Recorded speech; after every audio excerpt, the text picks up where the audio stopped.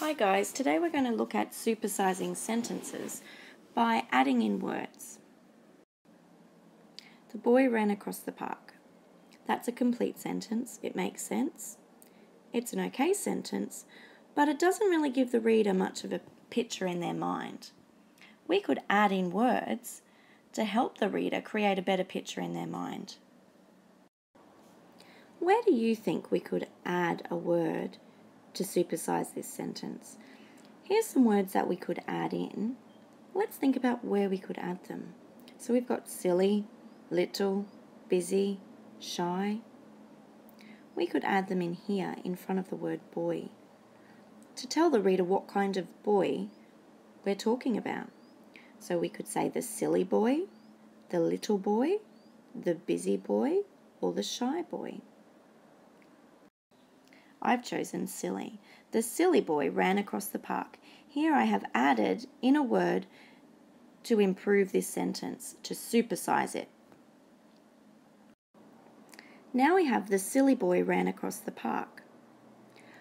Do you think we'd be able to add in another word to supersize this sentence even more?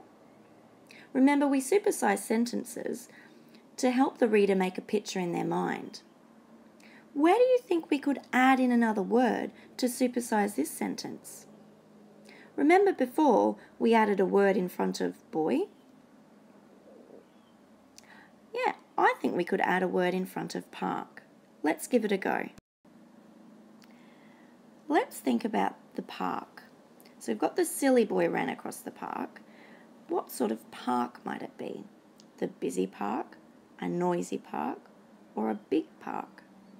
We could add in one of these words to supersize this sentence even more. I chose the word busy. The silly boy ran across the busy park. I think that gives the reader a much better picture in their mind. This is the sentence we started with. The boy ran across the park. It was an okay sentence.